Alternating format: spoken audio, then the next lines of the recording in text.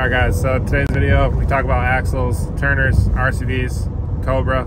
If you guys, after watching this video, want to buy any of those axles, we are a dealer for all of them now at Blown Budget Parts. Um, so shoot us a, a, message or a DM or an email, Blown Budget Offroad at hotmail.com if you guys are trying to order some axles. I just want to throw this in here. Uh, we did become a Cobra dealer after I bought the axles and this video was filmed, so it wasn't mentioned in the video. So I'm throwing this clip in now. Well guys, another video with the X3 up on the lift. Um, if you guys caught the Windrock series, which I'm assuming most of you guys did, uh, you've seen that Windrock was rough on the old girl. Um, I broke both RCV fronts as well as had issues with the Turner axle that was borrowed.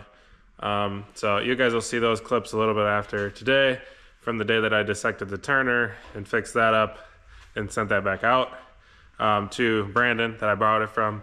But today we are here to throw in the new axles into the front diff of the X3. So um, we're going with a different brand axle this time. And uh, I'm gonna grab those axles, get them unboxed, and show you guys what we're going with this time.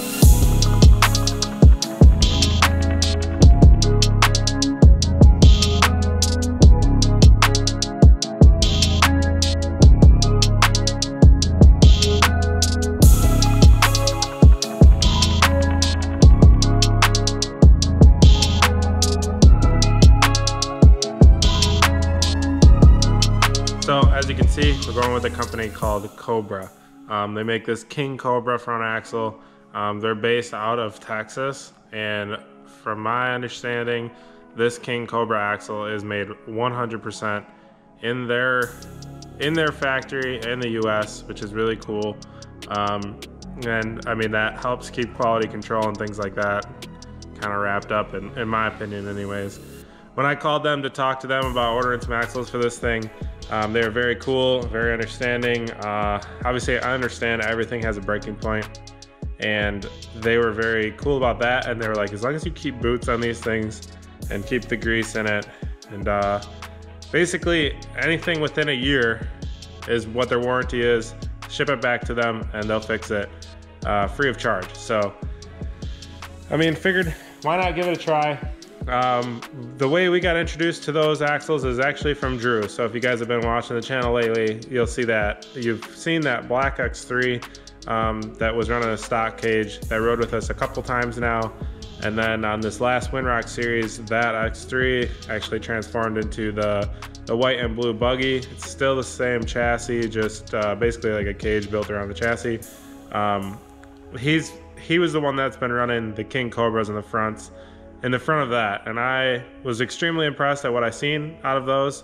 And I was like, man, uh, if I ever have issues, uh, I think I might give them a try. They are the best budget friendly axle out there that fits in the Halo 30. So if you guys aren't familiar with um, the Can-Am design, I'm running a Halo 30 front diff, which is an aftermarket billet diff that changes the diff side stubs to a bigger shaft diameter um, than stock. So you can only run, to my knowledge, three companies Cobra, RCV, and Turner. Um, as you guys will see later in this video, the reason I'm not running the Turners, um, I've just had issues with the, them falling out of the diff.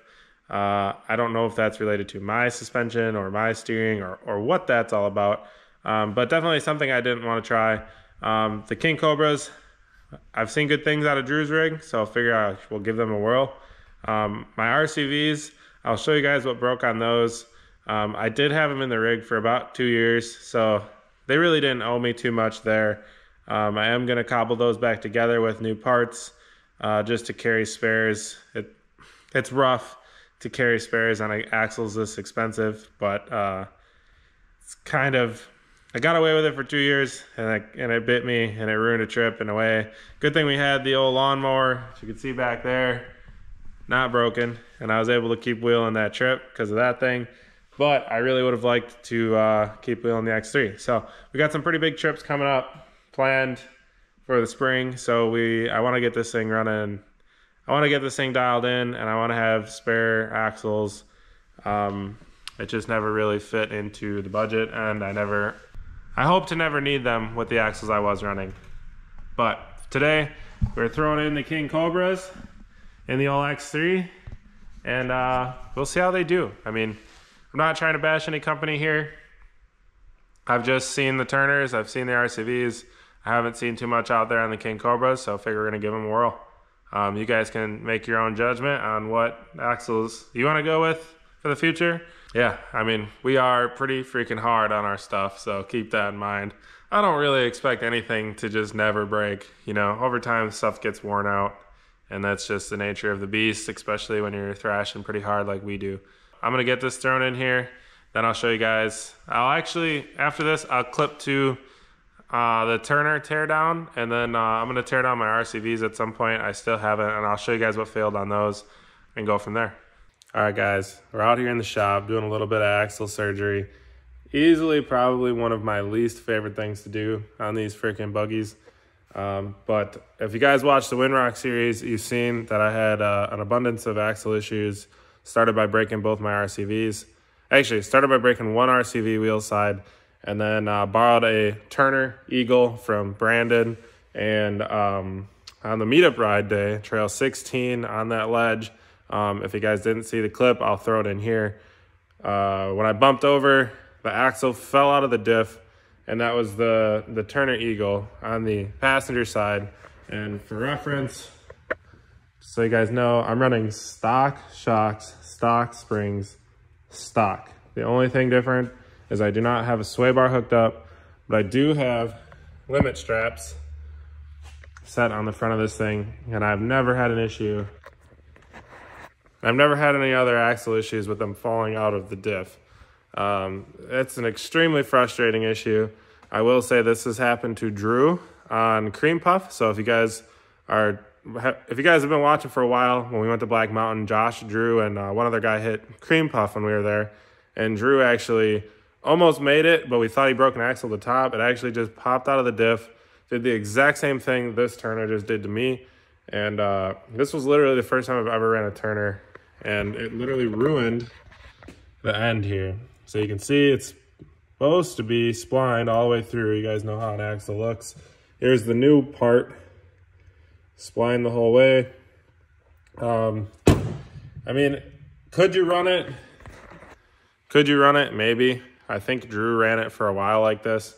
But being that this was a borrowed axle from Brandon, um, I wanted to buy the right parts, replace it, and make it 100% legit again. Um, but unfortunately, this part with the CV and everything comes like this, assembled, ready to rock and roll. But $260 down the drain, all because this axle fell out of the diff for unknown reasons. And uh, yeah, that blows. So that's an that's an issue that Billy used to chase on his Turbo S that we never really talked about. He's running Turner Nitros. Um, we mentioned it a couple time in video, couple times in videos, but somehow his are staying in the diff now. But it was to the point where it would happen five, five to ten times a trip for a couple trips there, where his front axles would just fall out of the diff. So I don't know, pretty wild scenario pretty frustrating because it just eats up money. And then when you tell the company about it, they don't really care.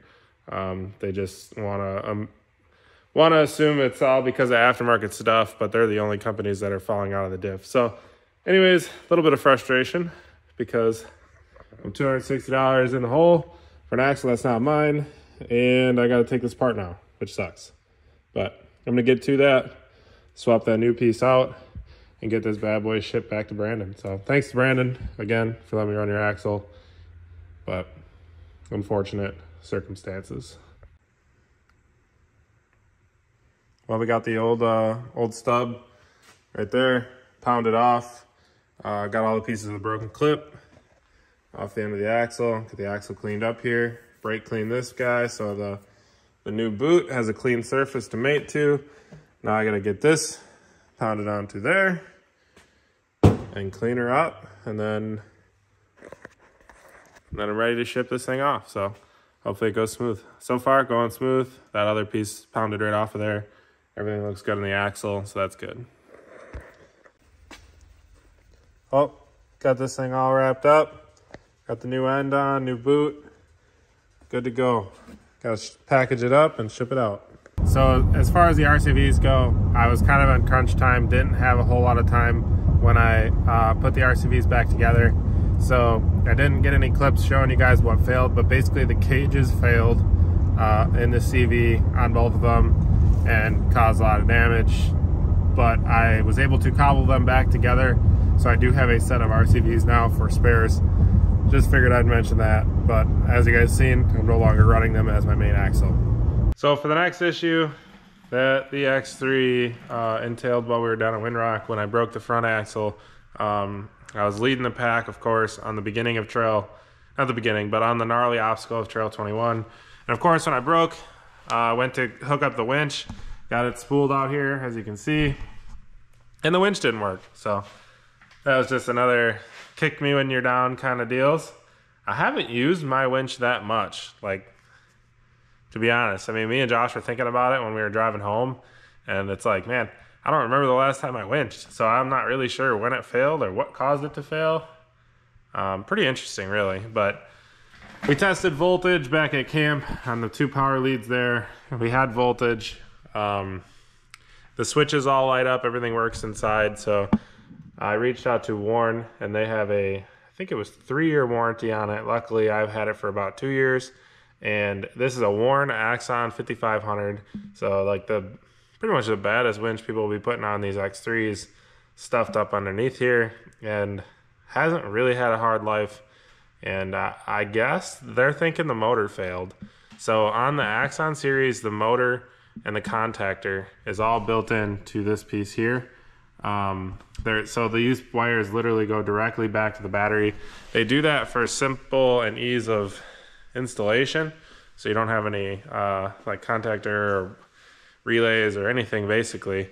You just have a low voltage set of wires that goes to um, to your switch or you just have your small set of wires that goes to your switch and your controller and then your fused ignition wire and then you have your main batteries main wires right back to the battery that's cool for install but however if that relay is all that failed it's pretty unfortunate that i have to switch the entire motor now just to change that relay because it's I don't know. Let's see. Here's the receipt.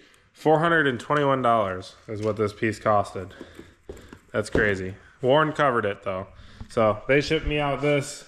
This is a whole half of the winch and the motor and the relay and everything is built into this. Um, you can see that's where the power wires go. Here's that low voltage connector I was telling you about or small wire connection. So I don't know what's entailed to split this winch apart and swap that over. And I don't know that that's to fix it. I would assume so, though, because, I mean, there's really not much else to the winch. I don't think it's a mechanical issue. I think it was electric. And, uh, yeah, so I'm to get to pulling these positive negative leads off. I think I got to take off the two bolts that mount this half of the winch. And I would assume these four bolts on this side. And hopefully I can leave the other half mounted to the rig. We'll see. Otherwise, I'll have to pull these other two bolts off. Maybe, maybe I'll just do that anyways. I might just pull the whole winch off at this point. We'll see. Something else to show you guys is, look at how bent up my bulkhead is. Look at this tube. Um, and this guy, you can see it's bent down. This side's really bad. That tube there. And this bent down. It's actually hitting the arm barely, but it's self-clearanced good to go. Rough. That's from uh, that's from when we can't cross stuff and we bash these ledges at like freaking 20 miles an hour like idiots, and you're jumping over the stuff, but it doesn't quite clear the rock.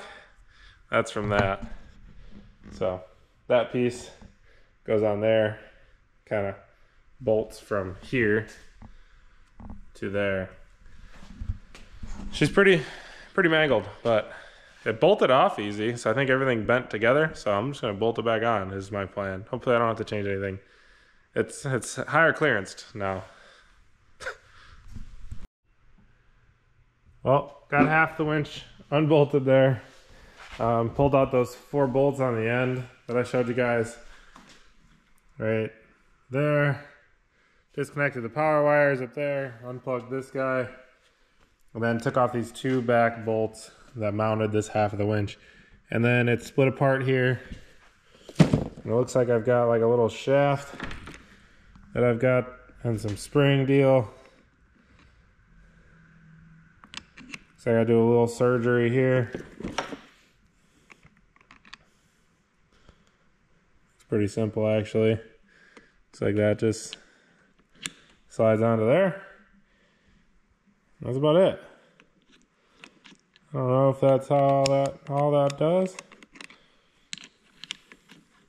I don't know. I don't know much about it, but I'm hoping that I'll slap this piece back on and I'll have a working winch again. We'll see. All right, so I ended up getting the new winch bolted on and uh, it appears to be good. A little bit of mysterious things going on, but it did work. So we're actually on the road right now down to Tennessee, do some wheeling. So hopefully my winch works. I have a funny feeling I'm gonna need it for where we're headed. So drop it down below if you guys think you know where we're going. That's the only clue I'll give you. It's the Tennessee mountains. We have never done the trail that we are attempting to do and it's in the middle of the winter so should be fun. See you guys there.